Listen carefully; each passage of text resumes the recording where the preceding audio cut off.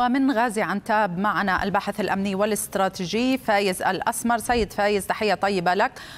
آه خلال 48 ساعة ضربتان تستهدفان القاعدة الأمريكية في كونيكو في دير الزور. هل هذا يعني أن التصعيد في هذه المنطقة ما بين ميليشيات الإيرانية والأمريكيين عاد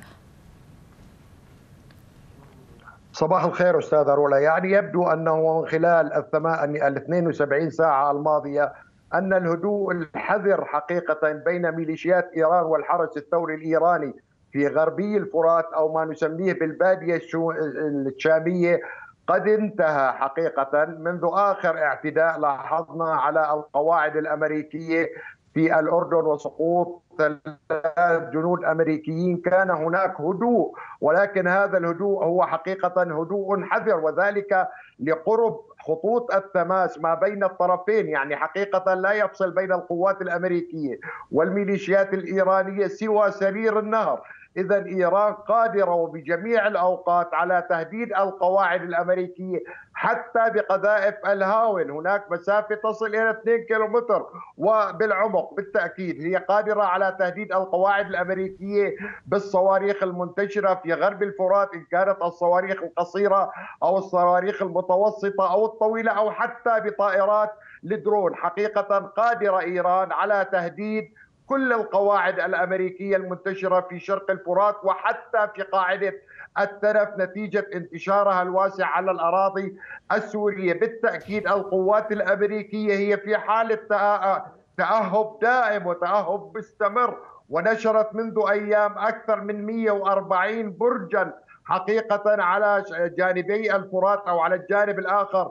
لنهر الفرات لمراقبه التحركات الإيرانية بالقرب من سرير النهر. نعم ما هو سر هذا التصعيد الإيراني حاليا؟ ما هي الرسالة التي تريد أن توجهها إيران إلى أمريكا الآن وما الذي تريده؟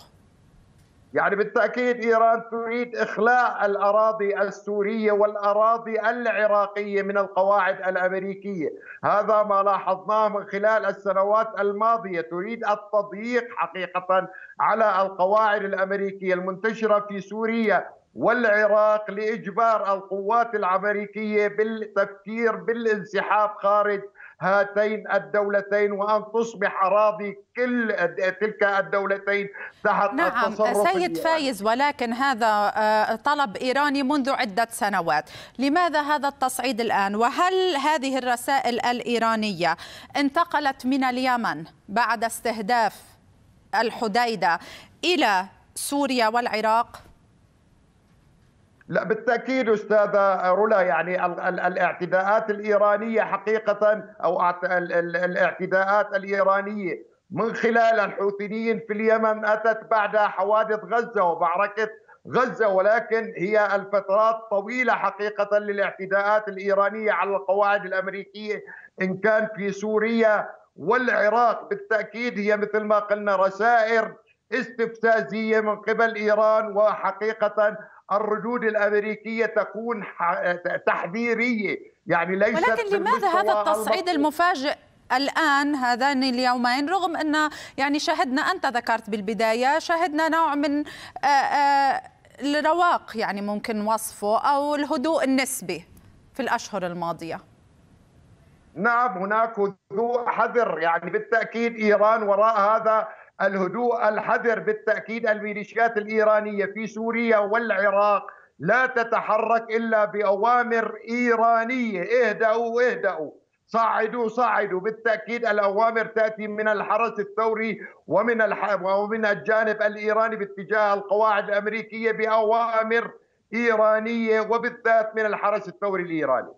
نعم سيد فايز. أنا سؤالي لماذا التوقيت الآن الإيراني توقيت هذا يعني اللي أنا أسأل عنه توقيت تصعيد حاليا لماذا؟